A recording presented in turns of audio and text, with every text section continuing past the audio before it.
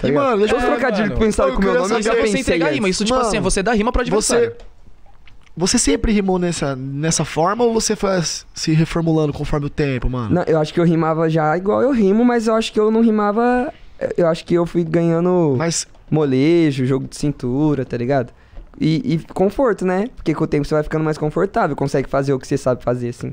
Mas eu acho que eu já rimava assim. Acho que o Guri já rimava assim, mas ele ganhou foi a malandragem mesmo, papo Acho que reto. foi tipo, isso, assim. É que a rimar na, presença, na o capital flow, o também flow, o você bagulho é muito louco aqui. O flow foi um bagulho que você trabalhou, né? Porque, tipo, eu Trampei. lembro da- que nas antigas batalhas era mais um bagulho mais e outra, você conversado do que coisa pra caralho, né, mano? Oxe, pra, tipo assim, como. o cara tem que estudar pra caralho pra ter mais argumento, né, velho? Porque você fala uns bagulho cabuloso, mano. Na moral, vocês dois, na verdade, vocês têm o Você mesmo é estilo de rima, assim, é velho. argumentadorzinho. Ah, mano, eu gosto, eu, Eu gosto de falar bastante. Ô, aquela batalha sua com, com o Barreto dos Minions, velho.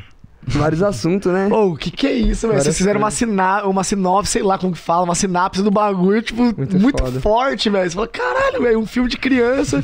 Os caras fez um assunto tudo mó... vira assunto, cara. o Barreto fala assunto. que os, os, não era o Gru que escravizava os Minions, os Minions escravizavam Nossa, então, velho. Ele começa a entrar numa tese, né? O Barreto é Então, hora. essa, essa cita que, tipo, tem a Muito ver, tá foda. ligado? Muito Caralho. foda. Sim, É mano. que os caras não mandam um bagulho muito vago, né, mano? Tipo assim, ele procura o contexto dentro É. do contexto. Aí fica, tipo... E tipo, pelo menos eu falo por mim, pelo Barreto, assim, a gente sempre tenta relacionar, tipo, quando nós cita cultura pop, os bagulho, eu nunca falo assim, tipo, Naruto, eu sou o ninja da Folha. Não, eu sempre vou tentar associar com alguma coisa da vida real, assim, da rua, tá ligado? Tipo assim, fazer um contexto, tá ligado?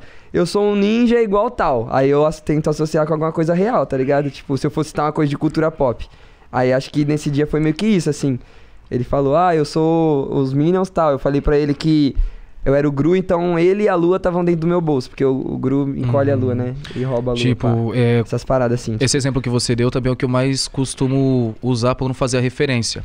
Ainda mais quando é um assunto, seja ele da cultura pop ou um assunto de. é, uma referência a um assunto que você estudou. Será, por, por exemplo, a Divina Comédia. Você pegar uma referência que você sabe, que deu ideia ali pra você, mas tentar ao máximo colocar numa situação do cotidiano que todo mundo entenda.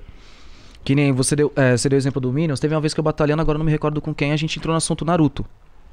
Aí o mano veio falar que, tipo assim, Quem era o? Itachi. Eu não vou lembrar o mano agora, só que eu falei, pô, você é o Itachi? Você tá metendo louco. Eu sou o Uzumaki e você é o Tira. Sou o Uzumaki porque eu não gosto de dormir com o olho dos outros. Tá ligado? Pode é sempre crer. colocar, tipo, dentro de um contexto real. Foda. Tá ligado? E coloca dentro de... Peguei esse exemplo pra colocar dentro do ditado. Tipo, não dormir com o olho dos outros. Tá ligado? Eu acho que a mágica também é, tipo, nunca mandar a primeira coisa que você pensa, tá ligado? Tipo assim, que se... É isso. Tem muito MC que é, Todo ah, é mundo já É ouviu. Naruto? É Naruto? Faz um clone pra poder ganhar de mim. Aham. tá? Eu tenho muito orgulho de, um- de uma final que foi a final que foi eu e o Barreto de dupla, aquela edição da chuva lá, que a final foi com o Sabuó e o Tubarão. No terceiro round, e o Tubarão fez um round todo de Harry Potter, só que, tipo, Nossa. nada era sobre o Harry Potter ali, tá ligado? Falando de coisas da rua, tá ligado? Ele fala de Azkaban e aí ele relaciona com Carandiru. Só fazendo Tá essas relações, É. nessas metáforas. Eu falo do bagulho dele ser mandragorá porque ele acha que tem raiz, mas se eu puxo ele pra fora da terra, ele só sabe gritar, Uhum. tá ligado? Falei que eu dei um rolê de Nimbus 2000 dentro da mente dele. Nossa. É nessa batalha que eu falei pra ele que pode ficar com a Relíquia da Morte, porque eu conheço a morte dos Relíquia, tá ligado? Nossa. Eu tipo consegui assim, montar a um- gente tudo relacionou com coisas reais ali, mano. Nada era tipo assim, ah, magia de. Não, era tipo assim, pegar um É contexto. legal e- batalha assim quando você consegue montar num assunto desse, você pega um assunto diverso, mas consegue colocar dentro da realidade. Que nem algo parecido que eu consegui fazer foi contra o Gini lá no Coliseu, mano, no assunto capoeira. Esse aí foi. Ele doido. veio falar, tipo, ah, grafite e lapiseira. Aí eu lembrei, pô, mano, lapiseira, compasso, foi o que veio. Então já montei nisso. Ah, você quer falar de lapiseira, outro trouxa de capoeira, vai levar o meu alô de compasso. Em seguida falei, pô, você sabe foda. que a rima é dolorosa. É, rabo de arraia na capoeira, você nunca viu uma benção tão venenosa. Só citando golpes. E foi assim o round inteiro. Se você curtiu esse corte, se inscreva no canal! E se você quiser assistir o episódio completo, acesse o card aqui ao lado.